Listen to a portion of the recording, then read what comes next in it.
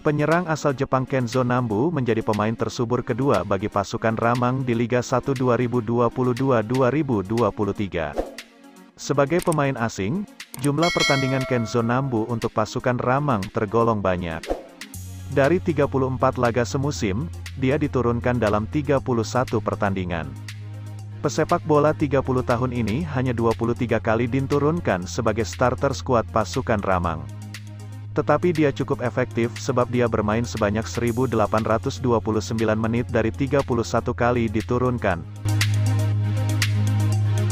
Kenzo Nambu juga mencetak 9 gol, 2 assist dan 12 umpan kunci.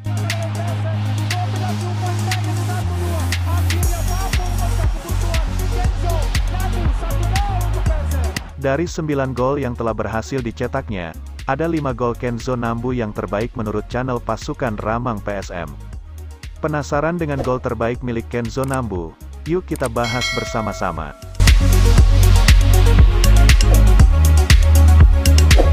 Gol Kenzo Nambu yang terbaik urutan kelima saat melawan Persija Jakarta. Berawal dari kombinasi passing yang diberikan oleh Yakob kepada Wiljan Pluim. Pluim pun memberi umpan kepada Kenzo Nambu yang berlari ke dalam kotak penalti. Di depan gawang Kenzo Nambu hanya berhadapan dengan kiper dan melesatkan gol di sebelah kanan kiper. Pergerakan Kenzo Nambu ini membuat bek lawan terheran-heran karena dia bergerak tanpa dikawal lawan. Bahkan beberapa bek lawan dengan santainya hanya melihat Kenzo menendang bola ke gawang.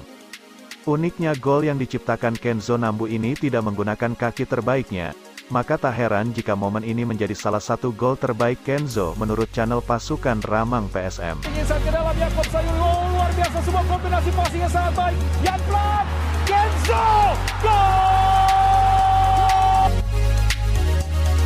Gol Kenzo Nambu yang terbaik keempat saat melawan Persita Tangerang. Kenzo Nambu menerima umpan lambung Yakob Sayuri dari sebelah kanan. Kenzo pun mengontrol bola dengan tenang pas di kaki kanannya. Dengan ketenangannya, Kenzo mampu melewati satu bek lawan lalu melesatkan tendangan keras yang akurat di sebelah kanan tiang jauh.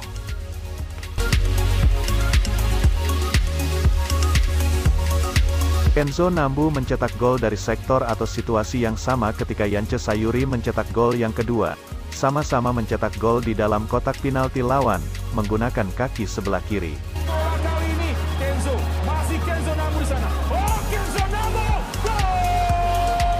Gol Kenzo Nambu yang terbaik ketiga saat melawan Bali United. Gol Kenzo Nambu ini mampu mengembalikan semangat pemain pasukan Ramang karena di babak pertama telah tertinggal 2-0 oleh Bali United.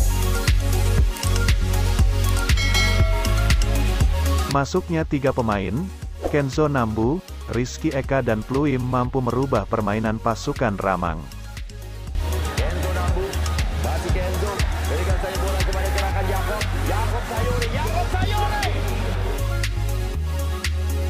Gol Kenzo Nambu pun tidak lepas dari kerja sama dari tiga pemain yang baru masuk. Kerja sama 1-2 oleh Everton, Pluim, Rizky Eka dan diakhiri tendangan keras oleh Kenzo Nambu ke tiang kiri lawan, membuat pemain Bali tak berkutik.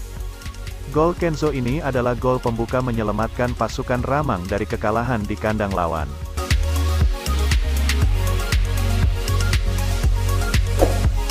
Gol Kenzo Nambu yang terbaik kedua saat melawan PSIS Semarang.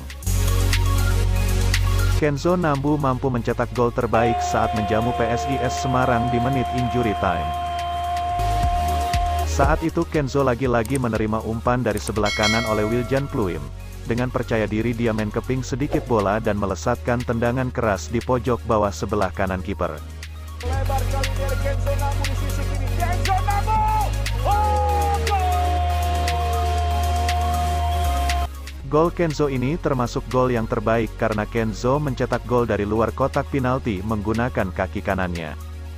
Di laga ini Kenzo Nambu mencetak brace pertamanya bersama pasukan Ramang, dia mencetak gol tercepat di awal laga dan gol keduanya yang termasuk gol terbaik dicetaknya di menit akhir waktu normal.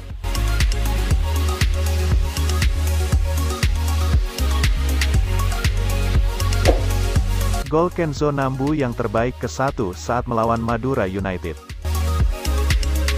Gol Kenzo Nambu kali ini dicetaknya dari jarak yang tidak biasa. Dia mencetak gol dari jarak yang cukup jauh dari tengah lapangan. Golnya ini sekaligus penutup gol untuk pasukan Ramang di laga itu. Sekaligus golnya mengunci gelar juara Liga 1 di musim ini. Gol sensasionalnya ini berawal dari kesalahan Zulfiandi yang meremehkan gerakan Kenzo Nambu. Dengan jeli Kenzo melihat kiper Madura jauh dari gawangnya dan melesatkan tendangan yang begitu akurat masuk di tengah gawang Madura United. Itulah gol-gol terbaik yang dicetak oleh Kenzo Nambu bersama pasukan Ramang di musim ini. Menurut teman-teman mana gol Kenzo Nambu yang paling terbaik? Tulis jawaban kalian di bawah kolom komentar ya. Sepertinya gelar juara akan aman menjadi milik dari PSM Makassar. Terima kasih banyak telah menonton berita terbaru dari channel pasukan Ramang PSM. Jangan lupa like, share, dan subscribe agar kami bertambah semangat membuat konten-konten terupdate pasukan Ramang berikutnya.